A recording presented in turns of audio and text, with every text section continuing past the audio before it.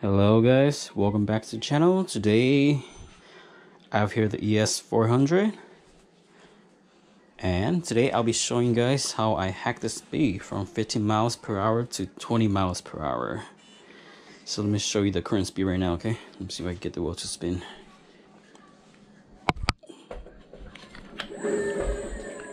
So right now top speed is at 15 miles per hour. Okay.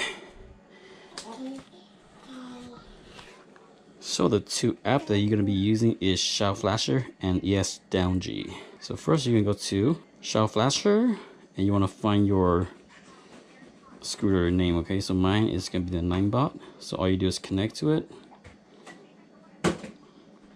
And then for mine, the BLE version is 1.0.7. So you want to go down here and you want to select that one. So mine is right here okay? Select that and then you go flash selected zip file.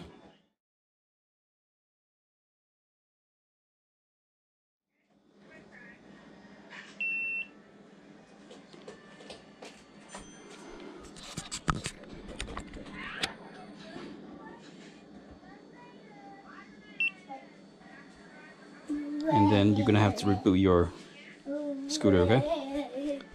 Going to turn off. Just turn back on. Alright. And then you want to get out of this. And you want to go to this website here. So let me show you.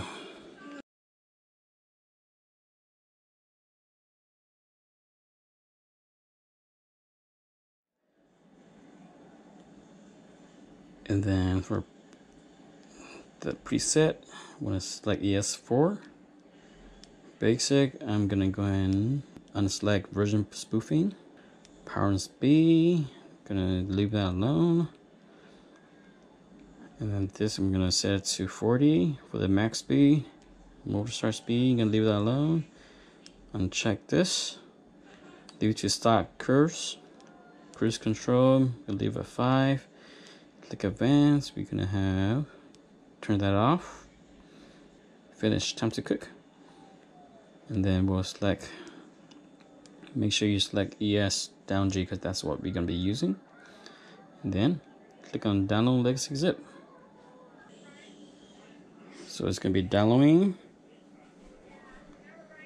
Then it should be located in your download folder. So once that's completed you want to get out here and let's go to ES down G. And then you want to connect and select your scooter name, okay? So mine's an N3M 9bot M. Select that. Okay, so it's connected now. Okay, we can go ahead and check version. Okay, and then you want to go ahead and open bin and look in the download folder. And I already got one credit before, so I'm just gonna select um, the first one here and then all you can do is flash bin. And it should take about 20 to 30 seconds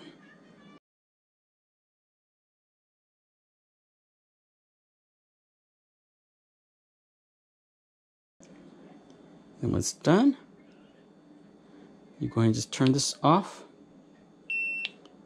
And let's turn back on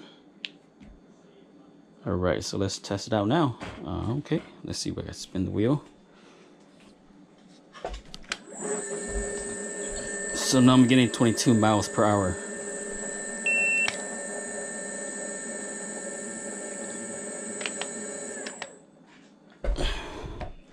So I did test this out and the top speed with my weight was 20 miles per hour. So that's pretty impressive.